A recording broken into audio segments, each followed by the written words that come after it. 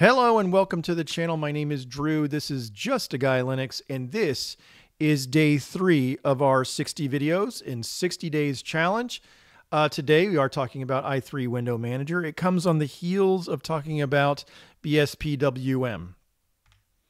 As I mentioned, BSPWM is my favorite starting window manager. Today, looking at i3, the window manager most people start with. And here's the thing both i3 and BSPWM are excellent first tiling managers. They are the most common entry point. So, what makes i3 different and which one might be right for you? i3 uses what is called explicit layouts. You can choose between horizontal or vertical layouts. Just so you know, when I say horizontal, that basically implies a column type layout and consequently vertical would be like row type layout, okay? Now when you think about i3, and I mentioned the fact that it's explicit layout control. You can have tabbed or stacking layouts. Um, the reality of it is you have more control over an i3 window manager than you do the algorithmic new window uh, that you would have for BSPWM. Which is better? I don't know. I don't know that one has a leg up on the other. It truly is on how your brain works. Getting my i3 setup running is the same process. It's just a different URL. As you can see, you're going to go to i3-setup. Let's go over here. And when you are looking at this, um, this README, it's going to talk about how to do the installation. It's going to talk about what it installs. Now, i3, SXHKD, Polybar, Rofi, Dunst, all of these are being installed from the Debian stable repos. Again, I'm using a specialized picom. I think it's really, really um, slick. So that is the one exception here. So you would just install, reboot, and you're going to be greeted by what you're currently looking at, which is my i3 setup. So let's start with the basics. All the key bindings are using the super key modifier. So I'm going to go to super 4, uh, which puts me on workspace 4.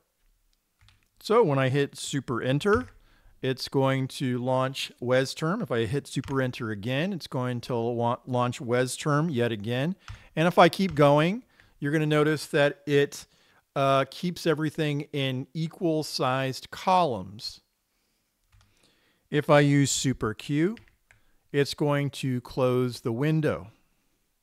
If I use Super Spacebar, it's going to launch Rofi in the center of the screen and I can I can select whichever application that I want. Let's just do Geany real quick. Okay. And also I can use super and then a directional arrow, so left, and I can change focus to whichever um, window is open. Now, this is a little bit different in that I left Vim keys in. So if I use super H, it's going to go to the left, super H or super L. Um, and you can then re uh, change focus by using Vim keys, or Vim motions, I should say. Okay.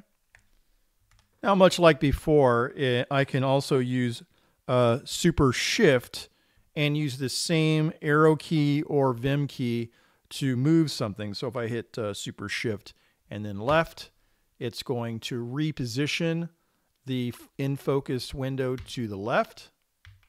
Okay. And also to the right. And if I want to, like I said before, if I want to use the Vim key, uh, H, Super Shift H, Super Shift L. Now, before we go any further, let's actually, let's go here and let's say Figlet, uh, just so we have a, a difference. Okay, let's Figlet A, and then let's go over here and we're going to do Figlet B. Okay, and, and let's go Figlet C. Okay. Just that way we know which is which, all right? Now, also, let's go back over to Workspace 1. Because what makes i3 different is this stuff right here. having tabbed layouts, stacking layouts, and then toggling which split layout you want. So let's go back to workspace 4. Okay, so when I use Super W, it is going to, the windows become tabs with a tab bar visible. So you're looking at C, and if I'm using, I'm going to use the direction arrows here. So super and then left arrow and left arrow and left arrow. And I'm able to switch. Everything is in full screen, but everything is tabbed. Now, now if I wanted to change away from the tab layout and go with the stacked layout, I would just use Super S. And that changes things so that your tabs actually are vertical. Now I'm going to use Super and then up arrow, up arrow, or down arrow. Again, if I wanted to use Vim motions, I would use super and then K or J.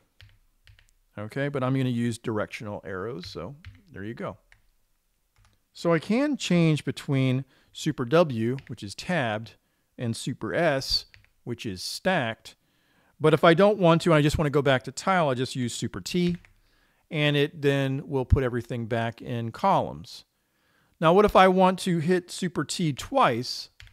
It actually will give me everything in rows. That's the way I like to describe it. It's in rows. So I can use my directional, uh, super directional, and change focus here as well. And it, let's just say I want to super shift. You're able to move things around just like any, you know, just like anything. So super T goes back, uh, super W and like I said before, super shift will allow me to move A to the end of the tab group. So this is the core i3 philosophy, explicit layout control.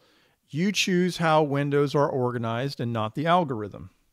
Polybar is only showing four, but there are 10 workspaces. Let's go ahead and move one of these. Let's move this over to Super Shift 5 so Super 5. And you'll see that um, we move Thunar over to its own workspace. A native i3 feature is scratch pads. Personally, I don't use scratch pads, but there are a lot of power users that do. I have one set up. It is a Super Shift Return, and it's going to show the ST terminal as a scratch pad. So if I just, let's just say, start something, uh, some type of application within the terminal, I can simply use Super Shift Return to hide that. And then when I want to see it again, I just use Super Shift Return once again, and it is already, it's still there. Now I'm going to go ahead and close the, uh, the scratch pad as well as this instance of Geany. Let's go ahead and say don't save this. Now I'm going to go over to Workspace 2. I've got a different uh, instance of Geany already there. And if I want to just say add this to a scratch pad, there is a keybind, super minus, okay? And what it has done, it is basically changed this from a tiled window to a scratch pad window. So what if I want to hide it? I, you can use super equal and it has been hidden. It is a now hidden scratch pad. So even if I go over to say workspace 6 okay, which is completely blank, and I use super equal again, it will then pop up that Scratchpad becomes visible on workspace two, uh, 6. Well, I don't really want Geany to be a Scratchpad, so I'm going to use super shift and then equal, and it changes it from a Scratchpad back to a tiled window. Let's move this back over to workspace 2. Uh, by the way, one more uh, scratch pad that's already kind of like pre-defined, and that is the um, pulse mixer. It is uh, Super V, and if I want to just, you know, there it is. It's it's it's simple, not really that important. Now let's go back over to Workspace 2. Oh wait, I forgot something. Okay, so I wanted to talk about resizing, and I didn't do that yet because Vanilla i3. That this is not Vanilla i3, just so we're clear uh, has resize mode. You press a key, you enter the resize mode, you adjust it with the arrows or a window, and then you escape. Uh, this is clearly not vanilla i3, but if you go to, um, if you go here, let's say, and you use the uh, super control and then left, okay, you can resize one if you want. You know, basically what you can do is you can resize them using, you enter resize mode by using control, uh, super control, and then a arrow key. Okay. So that is what that is doing. Okay. Now, i3's config structure is pretty simple. Let's go back over here and let's open up uh, Thunar. Now, like with BSPWM, I basically created a dot .config and then the name of the window manager. So with BSPWM or i3. Now within the .config i3, you've got everything that is uh, part of this configuration. There are three configuration files, and then you've got Dunst, picom, Rofi, and so on. Let's go ahead and close this. Okay. Um, so the config is including the rules configuration as well as the workspaces configuration. Uh, it is setting mod 4, which is the super key, as the modifier. Uh, it's also setting the colors. Um, and it is telling you where the autostart.sh file is. So the autostart is going to be in home uh, .config i3 and scripts. And this is what the autostart.sh file does. It starts Polybar. Uh, it starts your lxpolkit, Dunst, picom. It puts in the wallpaper and it starts your um, your SXHKD or your keybind daemon. Now the workspaces.conf is simply just showing uh, the fact that there are 10 workspaces as well as the, uh, the numeric value for them. So if I use super zero, for example, it's going to show 10. That's, that's all that is, okay? Now the rules.conf is not very long, I think, so it's 31 lines. And what it's doing is it's defining what the pixel size for the border is, what the gap sizes are, as well as which applications are floating, and also the scratch pads.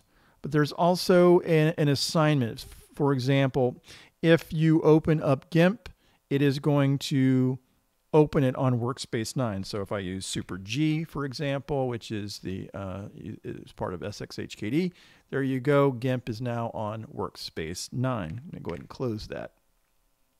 Now let's go back over to Workspace 2 and you're going to look at uh, the SXHKD. So what your key bindings are, okay? You're going to see Scratchpad, Thunar, Geany, and so on uh, including a, um, a power. So if I use Super X, I can log out, shut down, or reboot right there. Now, now obviously, uh, it's not going to be the same as BSPWM because it's using i3 engine as opposed to BSPC, which is the uh, BSPWM engine. So the commands have to be different, clearly. Now, also, I have roughly the same script um, for uh, the helper script. Now, so if I use super and then the slash, you'll be able to see what your key bindings are because it is parsing the SXHKDRC. That's all it's really doing. So you can see right here, like for example, the, the key that I just hit was that shutdown key, which should be positioned right after super uh, slash. So let's make sure that that is the case. So super slash and then super X. So anything that you put in this order. So if you want to, obviously, you may want to reorder things, uh, but make sure that you keep kind of like the the position convention as well as the uh, the comment space and then uh, whatever the title is. Okay. So I mean, for example, let's let's do the same thing again real quick. You know, in case you did not see the video from the previous day, if I just uh, right here I say launch um, Helium browser, okay, and then I was able to just say super. I think I don't, I hope C is not, yeah, super C and then uh, helium. And then let's go ahead and save this. And then if I uh, use super escape, uh, that will reload the SXHKD as well as if I use super C, it will open up um, helium right there, the browser.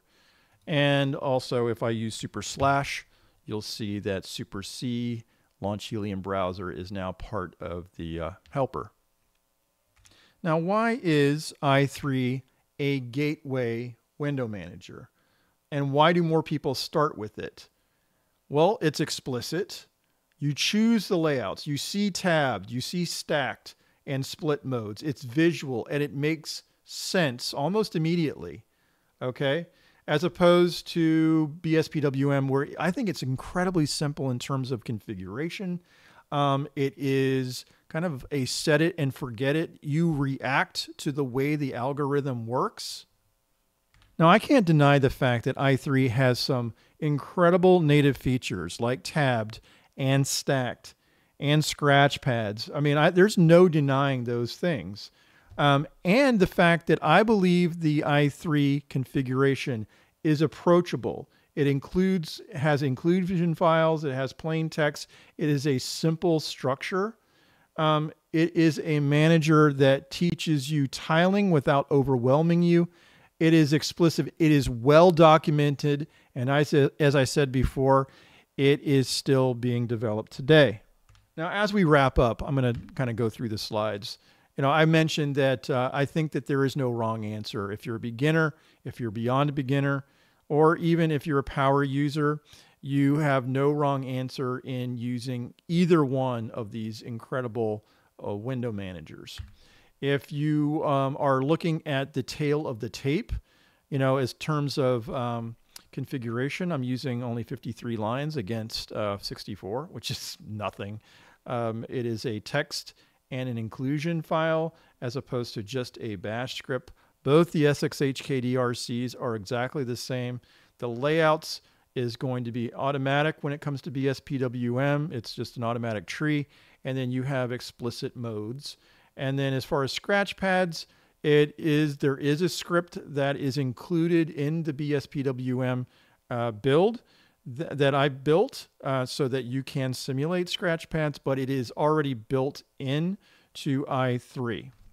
So thank you for watching. Tomorrow is going to be about OpenBox. It is a stacking, not a tiling window manager. Now, if you want to see a massive configuration file, uh, yeah, let's stay tuned for OpenBox. It's about a thousand lines long. I mean, it's already built um, for you, but overall, an XML is an incredibly like wordy uh, configuration file. But OpenBox is more like any other kind of like normal um, XFCE like or Cinnamon like or experience, much more mouse driven than keyboard driven. So stay tuned for tomorrow and OpenBox. And until then, see you.